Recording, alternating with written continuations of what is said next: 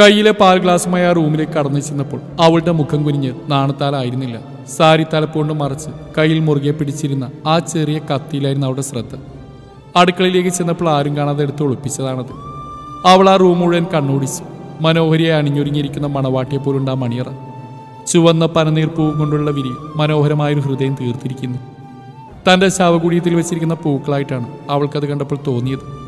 പുച്ഛത്തോടെയും ദേഷ്യത്തോടെയും നോക്കിൽക്കാനേ അവൾ കഴിഞ്ഞുള്ളൂ. മൂക്കിലേക്ക് അടിച്ചു കയറിയ മുല്ലപ്പൂ വാസനക്ക് അവളെ മത്തുപിടിപ്പിക്കാൻ കഴിഞ്ഞില്ല. പ്രേമം നിറഞ്ഞു തുളുമ്പേണ്ട കണ്ണുകളിപ്പോൾ വറ്റിവരേണ്ട ജലാശയമായി മാറി കഴിഞ്ഞിരുന്നു. അവൾ കട്ടിലിനടുത്തിരിക്കുന്ന മേശമയിലേക്ക് നോക്കി. തന്റെ കഴുത്തിൽ താലികെട്ടിയ പുരുഷന്റെ മനോഹരമായൊരു ഫോട്ടോ ഫ്രെയിം ചെയ്ത് വച്ചിരിക്കുന്നു. അറിഞ്ഞുകൊണ്ട് അദ്ദേഹത്തെ വഞ്ചിച്ചത് എന്തിനായിരുന്നു? ഒന്നും വേണ്ടായിരുന്നു. മറ്റൊരാളുടെ ജീവിതത്തിലേക്ക് കടന്നു ചെന്നിട്ട് അവരുടെ സ്വപ്നങ്ങൾ കൂടെ തകർക്കേണ്ടി വന്ന ഒരു പാപിയാണ് താൻ. സങ്കടം വന്ന് നെഞ്ചിൽ തളം കെട്ടി കിടന്നു. ഒന്ന് ഉറക്കെ പൊട്ടിക്കരയാൻ കഴിഞ്ഞിരുന്നെങ്കിൽ അങ്ങനെ മരവിച്ച് നിൽക്കുമ്പോഴാണ് മേശയുടെ താഴെ ആരോ കൊണ്ടുവച്ചിരുന്ന തന്റെ ബാഗ് അവളുടെ ശ്രദ്ധയിൽപ്പെട്ടത്. അവൾ ചെന്ന് ബാഗ് തുറന്നു. അതിലുണ്ടായിരുന്ന തന്റെ ഫോൺ എടുത്ത് നെറ്റ് ഓൺ ചെയ്തു. ബീപ് സൗണ്ടിന്റെ നിലയില്ലാത്ത പ്രവാഹം പോലെ ഒരായിരം വിവാഹാശംസകൾ ഫോണിൽ വന്നുകൊണ്ടിരുന്നു. അതിൽ കണ്ട് ഡി പി ഇല്ലാത്തൊരു അക്കൗണ്ടിൽ നിന്ന് വന്ന മെസ്സേജ് വിനുവേട്ടൻ.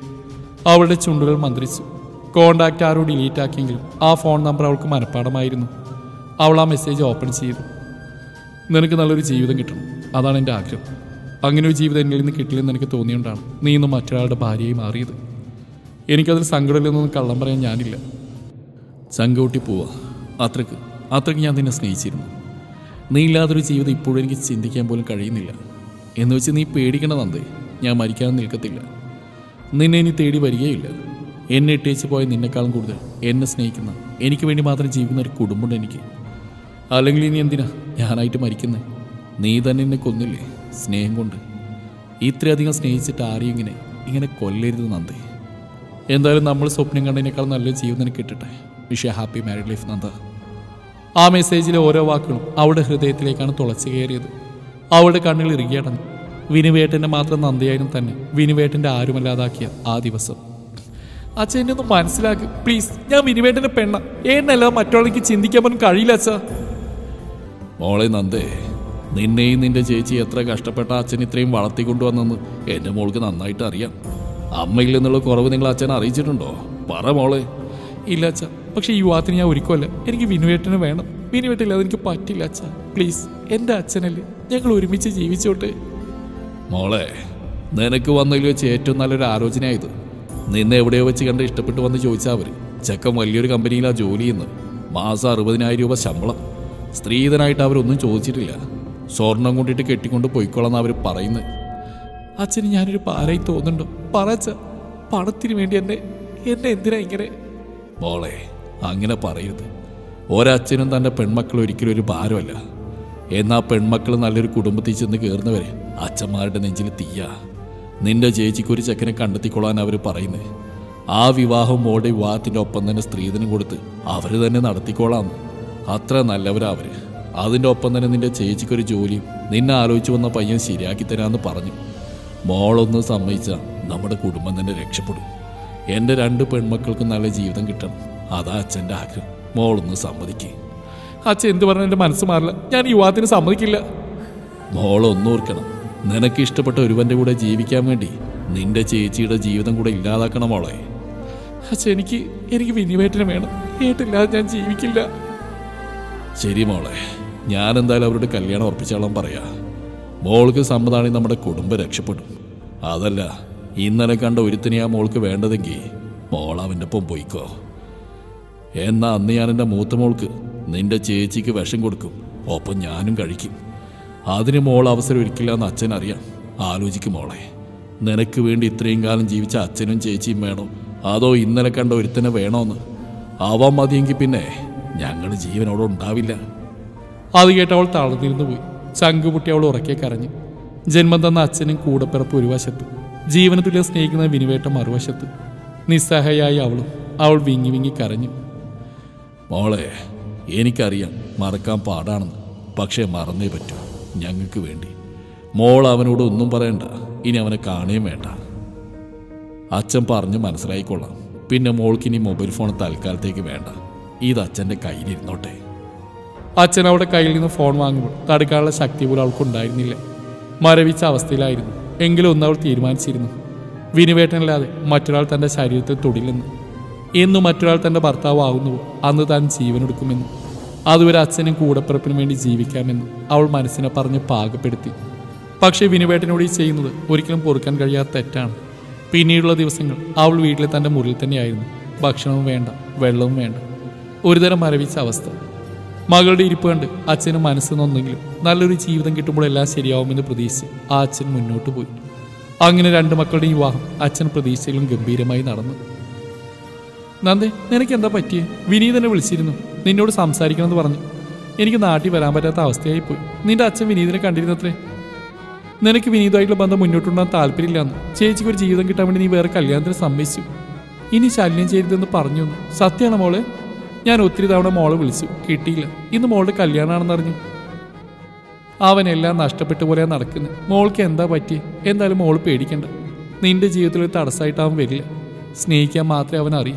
ആരെയും ദ്രോഹിക്കാൻ അറിയില്ല. നീ പൂർണ മനസ്സോടെയല്ല ഈ കല്യാണത്തിന് സമ്മതിച്ചെന്ന് ചേച്ചിക്ക് അറിയാം. എന്നാലും മോളെ അവസാന തീരുമാനം നിന്റേത് മാത്രം ആയിരുന്നില്ലേ? മോളെ നിന്റെ ജീവിതം എങ്ങനെ തീരുമാനിക്കേണ്ടത് നീയായിരുന്നു. പക്ഷേ അവിടെ നീ നിശബ്ദയായി നിന്നു. നിങ്ങളുടെ ബന്ധം ഒരു തമാശയായിരുന്നു ചേച്ചിക്ക് ഇതുവരെ തോന്നിയിട്ടില്ല. ഞങ്ങൾ ആരും മോൾ വേറെ ആളെ കണ്ടിട്ടില്ല ഇതുവരെ. മോൾ എനിക്ക് എന്റെ അനിയന്റെ പെണ്ണ് മാത്രം ആയിരുന്നില്ല. എന്റെ അനിയത്തി എന്നെ ആയിരുന്നില്ലേടാ. എന്നെ ഒന്ന് വിളിച്ചുകൂടായിരുന്നു. എന്താണെങ്കിലും നമുക്ക് സംസാരിച്ച് തീരുമാനിക്കായിരുന്നില്ലേ? വിനീത ചേച്ചിയുടെ മെസ്സേജ് വിനിവേട്ടൻ തന്നെ പരിചയപ്പെടുത്തിയ നാൾ മുതൽ ഒരു കൂടപ്പിറപ്പിനെ പോലെ കൂടെ നിന്നിരുന്നു വിനീതേശി എല്ലാവരെയും താൻ വഞ്ചിച്ചു. ആ മെസ്സേജിന് മറുപടിക്ക് അവൾക്ക് കഴിഞ്ഞില്ല. വേണ്ട എല്ലാവർക്കുള്ള മറുപടി തന്റെ മരണമാണ്. അവൾ മേശമേലിരുന്ന കത്തിയിലേക്ക് നോക്കി. അവളുടെ കൈ കത്തിയുടെ നേരത്ത് നീണ്ടു. പെട്ടെന്നായിരുന്നു വാതിൽ തുറന്നു. ഞെട്ടിപ്പോയി അവൾ കത്തിയെടുത്ത് പുറകിൽ ഒളിപ്പിച്ചു. വാതിൽ കേൾക്കുന്ന ആളെ കണ്ട് മനസ്സൊന്ന് വിങ്ങി. ഒരായിരം സ്വപ്നങ്ങളും പ്രതീക്ഷകളുമായി തന്നെ ജീവിതത്തിലേക്ക് കൂട്ടിയാൾ. അദ്ദേഹത്തിന്റെ ജീവിതം നശിപ്പിച്ചതിന് പകരമായി ഒന്നും ചെയ്യാൻ പറ്റില്ലല്ലോ. കുറ്റബോധത്തോടെ അവളുടെ ശിരസ് കുനിഞ്ഞ് കണ്ണുകൾ നിറഞ്ഞൊഴുകി. നന്ദ എന്തിനാ താൻ കരയുന്നത് അച്ഛനെയും ചേച്ചിനെയും പിരിഞ്ഞതിന്റെ വിഷമാണോ? സാറിലുള്ളൂ കുറച്ച് ദിവസം കൊണ്ട് എല്ലാം ശരിയാവുന്നേ. പിന്നെ ഞാൻ തന്നെ ഉപദ്രവിക്കുന്നുള്ള പേടിയൊന്നും വേണ്ട കേട്ടോ. ഞാൻ തന്നെ ഒന്നും ചെയ്യില്ല.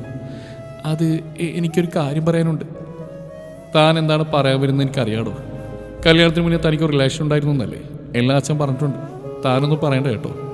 എനിക്ക് മറ്റൊരു കാര്യം തന്നോട് സീരിയസ് ആയിട്ട് പറയാനുണ്ട്. നമ്മുടെ കല്യാണം കഴിഞ്ഞുള്ള ജീവിതം താൻ സ്വപ്നം കാണാൻ നിൽക്കണ്ട. തനിക്ക് തന്റെ ഇഷ്ടം പോലെ ജീവിക്കാം. അതിനുള്ള പൈസയും തനിക്ക് മാസം അക്കൗണ്ടിൽ കിട്ടും. എന്റെ ജീവിതത്തിൽ താൻ ഒരിക്കലും ഇടപെടാൻ വരരുത്. ഞാൻ തന്നെ തൊടുക പോലും ചെയ്യില്ല. കാരണം എന്റെ സ്വപ്നത്തിലുള്ള ഒരു പെണ്ണല്ല താൻ. എനിക്ക് കുറച്ച് മോഡേണായ എന്റെ കൂടെ അടിച്ചു പൊളിക്കാൻ എൻജോയ് ചെയ്യാൻ താല്പര്യമുള്ള പെണ്ണിനെയാണ് താല്പര്യം. അതിനു പറ്റിയ ഗേൾ ഫ്രണ്ട്സ് എനിക്കുണ്ട്. താൻ ഇപ്പോഴും ജാമ്പവാന്റെ കാലത്തുള്ള ഏതോ പുരാവസ്തു പോലെ എന്ത് കോലാടോ തന്റെ. അവൾ അടിമുടി നോക്കിക്കൊണ്ട് പുച്ഛത്തോടെ അയാൾ പറഞ്ഞു നിങ്ങൾ നിങ്ങൾ എന്തൊക്കെയാ ഈ പറയുന്നത് പിന്നെ പിന്നെ എന്തിനാ നിങ്ങൾ എന്റെ ജീവിതം ഇല്ലാതാക്കിയത്? എന്തിനാ ഇത്ര വാശിയോടെ എന്നെ കെട്ടിയത്? എന്തിനായിരുന്നു? എന്തിനു വേണ്ടിയായിരുന്നു ഇതെല്ലാം? കുറ്റബോധത്തോടെ തലവിച്ചിരുന്ന അവൾ ആവേശത്തോടും ദേഷ്യത്തോടും കൂടെ അയാളോട് ചോദിച്ചു നിന്നെ ഞാൻ സ്വന്തമാക്കിയത് എനിക്ക് വേണ്ടിയാണെന്നാണോ? ഒരിക്കലല്ല മോൾ ഞാനല്ല നിന്നെ കണ്ട് ഇഷ്ടപ്പെട്ടു എന്റെ സാറാണ്. What yes Nanda. He's crazy about you അല്ലെങ്കിൽ നിനക്ക് വേണ്ടി ഇത്ര പണാരങ്ങളിൽ ചിലവാക്കൂ. നിന്നെ കണ്ടപ്പോൾ മുതൽ നിന്നെക്കുറിച്ച് മാത്രമായിരുന്നു അദ്ദേഹത്തിന്റെ സംസാരം. പക്ഷെ അദ്ദേഹത്തിന് നാൽപ്പത്തഞ്ച് വയസ്സുണ്ട്. മാത്രമല്ല ഭാര്യയും രണ്ട് കുട്ടികളുമുണ്ട്. അതുകൊണ്ടാണ് ഞാൻ തന്റെ അടുത്തേക്ക് വന്ന് ആലോചനയായിട്ട്. സാറ് പറഞ്ഞിട്ട്. താൻ കാരണം എനിക്ക് എന്തൊക്കെയാണ് ബെനിഫിറ്റ് ഉണ്ടായിരുന്നു സാലറി ഇൻക്രിമെന്റ് പുതിയ വീട് അങ്ങനെ എന്തൊക്കെയാണ് thank you so much dear അദ്ദേഹത്തിന്റെ ഒപ്പം നിന്നാ നമുക്ക് ഒരുമിച്ച് രക്ഷപ്പെടാം. വേറെ ആരും അറിയില്ല. താനൊന്ന് കണ്ണടച്ചാൽ മതി.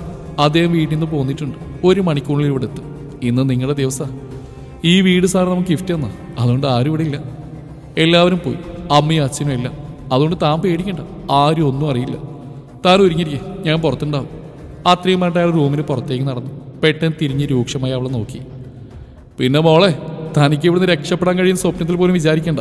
താനിപ്പോൾ എന്റെ ഭാര്യയാണ് ഞാൻ പറയുന്ന കേട്ടനുസരിച്ച് ജീവിക്കേണ്ട പിന്നെ എന്റെ അടുത്ത് ഒരു ഓഫറുണ്ട് ബോസിന്റെ കാര്യത്തിൽ ഒഴികെ മറ്റൊന്നും എന്നെ അനുസരിക്കേണ്ട. Because you are just my wife not my love you got it നന്നായിട്ട് ആലോചിക്കുക എന്നിട്ട് എതിർപ്പൊന്നും കൂടാതെ സാറിനെ സൽക്കരിക്കുക ടേക്ക് കെയർ മൈ ഡിയർ പൊണ്ടാട്ടി പൈശാചികമായ ചിരിയോടെ അയാൾ പുറത്തേക്ക് നടന്നു. എല്ലാം കേട്ട് മനസ്സ് കല്ലായിപ്പോയ അവസ്ഥ. വിനുവേട്ടന്റെ കണ്ണീരിന്റെ ശാപമാണിത്.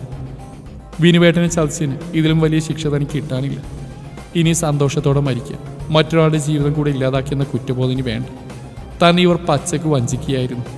അവൾ കത്തിയെടുത്ത് ഇടത് കൈയുടെ ഞരമ്പിലേക്ക് താഴ്ത്തി കണ്ണുകൾ ഇറുകെ അടച്ച് പെട്ടെന്ന് കണ്ണുകൾ തുറന്നു. തന്റെ കഴുത്തിൽ താലി കെട്ടിയ ആ പകൽമാരിന്റെ ഓരോ വാക്കുകളും അവളുടെ കാതുകളിൽ മുഴങ്ങി. എന്തുകൊണ്ട് മരിക്കുന്നതിന് മുന്നേ ഈ ദുഷ്ടജന്തുക്കൾക്ക് അവരുടെ ചതിക്കുള്ള ശിക്ഷ കൊടുത്തുകൂടാ? ഒരു പെണ്ണിനെ ചതിച്ചാൽ ഒന്നും സംഭവിക്കില്ലെന്നുള്ള അവരുടെ തെറ്റിദ്ധാരണ മാറ്റി കൊടുക്കണ്ടേ തന്നോട് ഇങ്ങനെ പെരുമാറിയവർ തന്റെ ചേച്ചിയോട് എങ്ങനെ പെരുമാറും? അവരുടെ ഓഫീസിൽ ജോലിക്ക് പോയി തുടങ്ങിയ ചേച്ചിയുടെ ലൈഫ് ഇല്ല. എന്റെ മരണം കൊണ്ട് ഇപ്പോൾ ഒരു പ്രയോജനവുമില്ല ഞാൻ ജീവിച്ചിരിക്കണം. ഈ സത്യം ലോകം അറിയണം. അവൾ പെട്ടെന്ന് തന്നെ പോലീസിനെ വിവരം അറിയിച്ചു. പക്ഷേ അതുകൊണ്ട് മാത്രം കാര്യമില്ല. കുറ്റവാളികൾ ഉയരങ്ങളിലുള്ളവരായതുകൊണ്ട് പോലീസ് മാത്രം അറിഞ്ഞാൽ പോരാ. ലോകം മുഴുവൻ അറിയണം. അവൾ ഫേസ്ബുക്കിൽ ലൈവ് പോയി. പിന്നെ എല്ലാം പെട്ടെന്നായിരുന്നു. നവവധുവിനെ സംഭവിച്ച ചതി ലോകം ഏറ്റെടുത്തു. കൂടെ നിന്നും കുറ്റം പറഞ്ഞ ഒരുപാട് പേർ. എന്തായാലും അവസാനം അവർക്ക് ശിക്ഷ കിട്ടി. ചേച്ചി കിട്ടിയ ജീവിതം ഏറ്റവും നല്ലത് തന്നെയായിരുന്നു. നല്ലൊരു മനുഷ്യന്റെ ഭാര്യയാവാൻ അവൾക്ക് കഴിഞ്ഞു. എന്നാൽ താൻ കാരണം നന്ദയുടെ ജീവിതം ഇല്ലാതായതിൽ അച്ഛന്റെ ഹൃദയം വിങ്ങിക്കൊണ്ടിരുന്നു. അവസാനം നന്ദയുടെ വിനുവേട്ടന്റെ അടുത്ത് പോയി ആ അച്ഛൻ ചെയ്തതിനെല്ലാം മാപ്പ് ചോദിച്ചു. എല്ലാത്തിനും കാരണം താനാണെന്ന സത്യം ആണയിട്ട് പറഞ്ഞു. തന്റെ മകളൊന്ന് വന്നു കാണാൻ അപേക്ഷിച്ചു. നന്ദ വിനുവേട്ടൻ വിനുവേട്ടൻ എവിടെ നന്ദയുടെ അച്ഛൻ എന്നെ വന്ന് കണ്ടിരുന്നു. സംഭവിച്ചെല്ലാം പറഞ്ഞു. എല്ലാത്തിനും കാരണം അച്ഛനാണെന്ന് പറഞ്ഞു ഒത്തിരി കരഞ്ഞു. തന്നെ ഒന്ന് വന്ന് കാണാനും പറഞ്ഞു. വിനുവേട്ടനോട് ഞാൻ ചെയ്ത് തെറ്റ് തന്നെ. ആര് പറഞ്ഞിട്ടാണെങ്കിലും അതിന് ന്യായീകരിക്കാൻ കഴിയുന്നില്ല. ചെയ്തതിന് മാപ്പ് പറയുക. അല്ലാതെ വേറൊന്നും വേറൊന്നും എനിക്ക് പറ്റില്ലല്ലോ. നന്ദ എല്ലാം മറന്ന് നമുക്ക് ഇനി ഒരുമിച്ച് മുന്നോട്ട് പോകാൻ പറ്റുമോ? ഇല്ല വിനുവേട്ട ഞാൻ മറ്റൊരാളുടെ ഭാര്യയായിരുന്നു. ആ എനിക്കെങ്ങനെയാണ് വിനുവേട്ടന്റെ പഴയ നന്ദാവാൻ കഴിയുന്നത് അതിനെനിക്ക് കഴിയും. ഇല്ല. വിനുവേട്ടൻ നല്ലൊരാൾ കിട്ടും. ഞാൻ ഇങ്ങനെയൊക്കെ അങ്ങ് മുന്നോട്ട് പോയിക്കോളാം. ശരി നന്ദ ഞാൻ ഇറങ്ങട്ടെ. തിരിഞ്ഞു നോക്കാതെ പുറത്തേക്ക് ഇറങ്ങി. മോനെ നന്ദ പറഞ്ഞെല്ലാം ഞാൻ കേട്ടു. എല്ലാത്തിനും കാരണം ഈ അച്ഛനാ. നിങ്ങൾ കിട്ടേണ്ട നല്ലൊരു ജീവിതം ഇല്ലാതാക്കിയത് ഞാനാ. വിങ്ങി പൊട്ടുകയാണ് അച്ഛൻ. ഇനി കറിഞ്ഞിട്ടെന്താ പ്രയോജനം? ഇങ്ങനെ സംഭവിക്കണമെന്നായിരുന്നു വിധി. എന്തായാലും ഞാൻ നന്ദയെ സ്നേഹിച്ച ആത്മാർത്ഥമായിട്ടാണ് അവൾക്ക് പകരം പെട്ടെന്ന് മറ്റൊരാളെ കാണാൻ കഴിയില്ല. അച്ഛൻ കരയണ്ട. ദൈവം എന്താണ് നിശ്ചയിച്ചിരിക്കുന്നത് അതുപോലെ നടക്കട്ടെ. ഞാൻ ഇറങ്ങുക അവൻ പുറത്തേക്ക് ഇറങ്ങുമ്പോൾ ആകാശം കാർമേഘത്താൽ മൂടപ്പെട്ടിരുന്നു. എന്തൊക്കെയോ ആഗ്രഹങ്ങളും ആശകളും ആ മേഘങ്ങൾക്ക് പുറകിൽ ആരോ ചങ്ങലകളാൽ ബന്ധിച്ചിരിക്കുന്നു. കാർമേഘം പെയ്തൊഴിയുന്ന നാളിൽ അവ കിളികളെപ്പോലെ പറന്നു പറന്നുയരുമായിരിക്കുമെന്ന് നമുക്ക് പ്രതീക്ഷിക്കാം. രചന ആതിരദാസ്